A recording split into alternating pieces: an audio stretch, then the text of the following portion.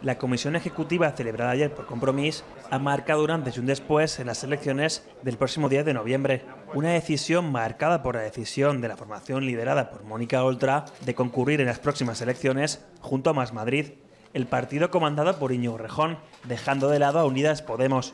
Bueno, nosotros no nos vamos con Errejón. Nosotros vamos a compartir una plataforma electoral donde aquí Compromís va a ser la cara y no queremos que la confrontación que se pueda dar en esta campaña eh, bueno, perturbe lo más mínimo nuestra acción de gobierno. Una decisión que pilló por sorpresa Unidas Podemos. Y es que si ayer Pablo Iglesias consideraba que el acuerdo con Compromís estaba muy cerca... Mónica sí ha hablado.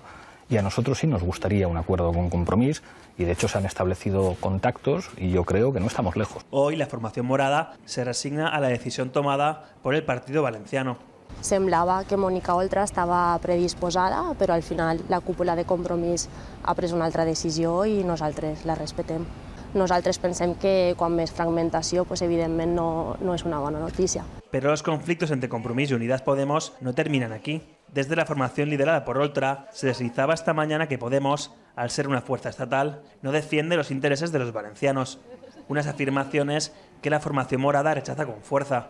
Queda clar que si ningú pot patrimonialitzar la defensa dels interessos de les valencianes i valencians, nosaltres tenim una agenda i un programa a València que articular a nivell estatal.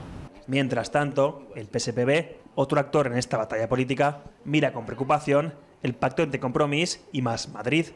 Yo no sé muy bien qué, qué piensa Errejón de los temas valencianos, pero supongo que le pondrán al día. Desde luego a quien no beneficia es al conjunto de la izquierda, porque al final tanta fragmentación acaba llevando casi siempre que gane la derecha. Y es que la decisión tomada ayer por Compromís ha pillado a muchos por sorpresa. Una decisión de la que habrá que ver si la formación de Pablo Iglesias es capaz de reponerse.